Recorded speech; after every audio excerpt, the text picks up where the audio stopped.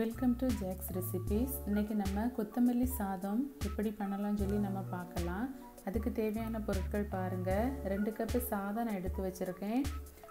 ஒன்றரை கட்டு கொத்தமல்லி கீரையை கழுவி எடுத்து வச்சுருக்கேன். மூணு பெரிய பச்சை மிளகாவை கட் பண்ணி வச்சுருக்கேன். ஒரு சின்ன துண்டு இஞ்சி எடுத்து வச்சுருக்கேன்.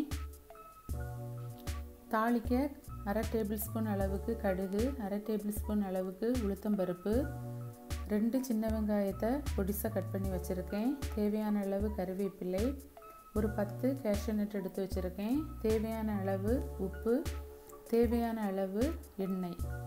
இப்போ நம்ம கொத்தமல்லி சாதம் எப்படி பண்ணலாம்னு சொல்லி நம்ம பார்க்கலாம். இப்போ கொத்தமல்லி சாதத்துக்கு நம்ம அரைச்சி எடுத்துக்கிடலாம். பச்சை மிளகாவையும் இஞ்சியும் போட்டுக்காங்க. கொத்தமல்லி கீரையை போட்டுக்கிடலாம்.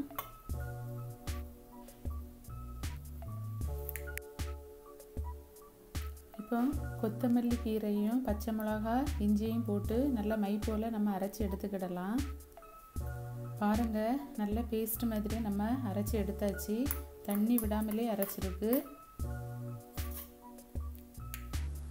இப்போ பேன் நல்லா ஹீட் ஆகிட்டு நம்ம ரெண்டு டேபிள் ஸ்பூன் அளவுக்கு ஆயில் ஊற்றிக்காங்க இப்போ நமக்கு எண்ணெய் நல்லா ஹீட் ஆகிட்டு இப்போ நம்ம கடுகும் உளுத்த பருப்பையும் போட்டுக்கிடலாம்.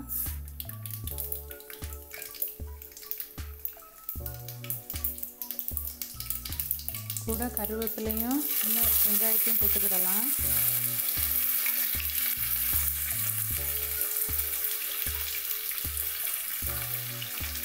கேஷ்யூ நட்டும் போட்டுக்கிடலாம்.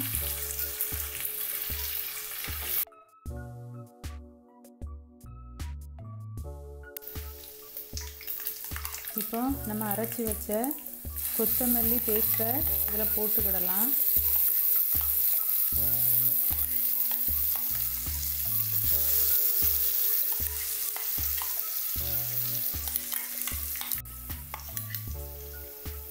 கொஞ்சமாக தண்ணி ஊற்றி நான் இந்த அவ்வளோத்தையும் ஊற்றிக்கிடுவேன்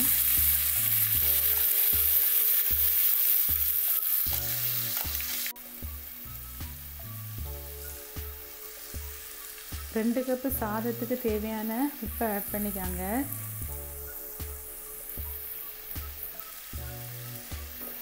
இந்த பேஸ்ட்டு நல்லா கொதிக்கட்டும்.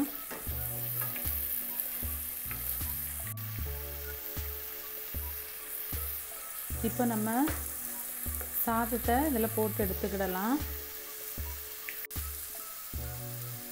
இப்போ நம்ம சாதத்தை போட்டுடலாம்.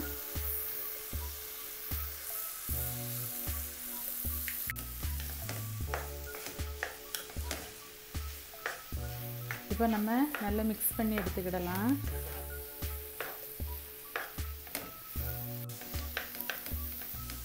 இப்போ ரைஸை நம்ம மிக்ஸ் பண்ணி எடுத்துக்கிடலாம்.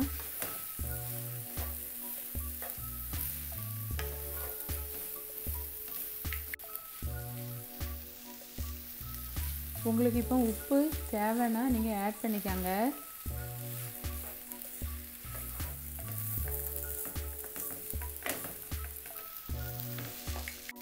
பாருங்கள் இப்போ நமக்கு சுவையான கொத்தமல்லி சாதம் நமக்கு ரெடி